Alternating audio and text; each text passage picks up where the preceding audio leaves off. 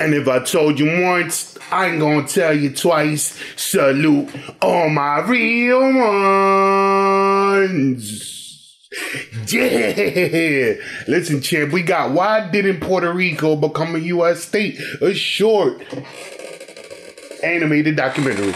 We are about to find out. And before we do that, like button, subscribe button, notification bell, press, press those. Let's go. And by the way, Puerto Rico, Puerto Ricans are Americans anyway, so it doesn't make a big difference.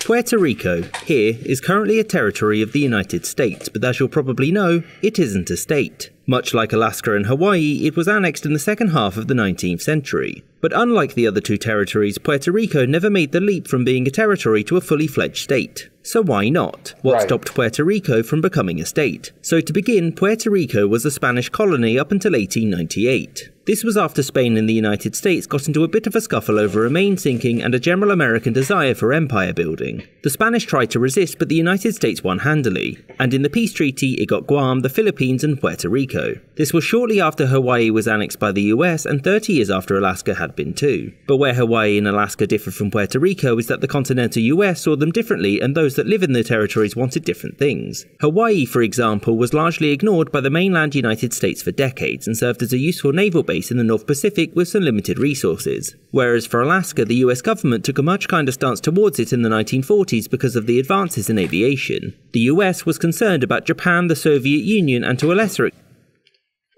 Britain during this time, and Alaska was well positioned to deal with them. Right, It was a similar like- distance from all three Right. of them, so it made Cause isn't isn't isn't uh Russia only like like forty and not not 40, 80 miles away from Alaska? transport hub, and also Mm. it was useful for stationing long range bombers there, just in case. In 1958, Alaska was offered a referendum on statehood, which 80% wanted, and so it was soon accepted. Very shortly after this, Hawaii was offered the same. Now, this was slightly more controversial since many American lawmakers were worried about a majority non white state sending senators and congressmen to do things like vote on laws and stuff. However, the US was under pressure from the United Nations to decide what Hawaii was going to be. And so, to avoid accusations of empire, President Eisenhower offered the territory a vote on becoming a state. Over 90% of Hawaiians supported the move, and so in 1959 it joined as America's 50th state. So why didn't Puerto Rico get the same treatment? The United Nations also took a dim view of America keeping it as a territory, but the difference was in the attitudes of the Puerto Ricans to the United States. From before its annexation until the outbreak of World War I, the island had a strong independence movement, and very few people there wanted to become Americans. Yet, after Puerto Ricans were given citizenship in 1917, the desire for independence slowly faded, and people came to prefer a loose association with the United States. This didn't mean that everybody was happy with the arrangement, and when the island's status was reviewed in the 1950s, small scale armed revolts broke out across the island.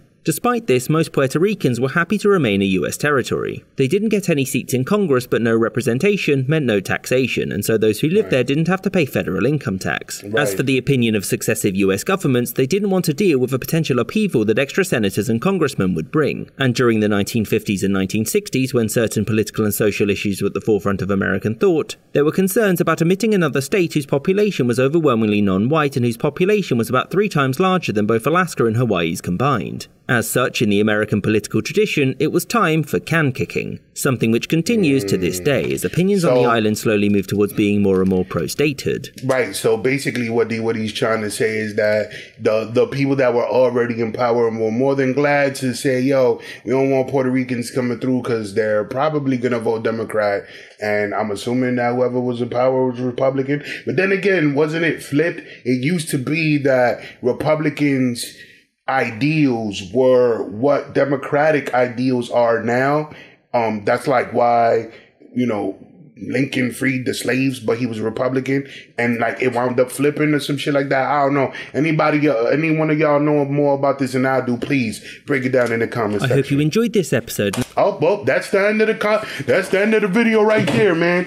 Um, I think, I mean, I, you know what? I, I really don't know what you know my Puerto Rican friends because I got I know a few Puerto Ricans, so I really should ask them like, yo, how do they and their and their older family members feel about you know becoming uh, American citizens, but to them, they're like, "Yo, listen, man, we don't get taxed, and we don't, and, and and you know, we get to fly in and out of Puerto Rico like if it was a state, so we don't have no problem with it. So you know, it is what it is.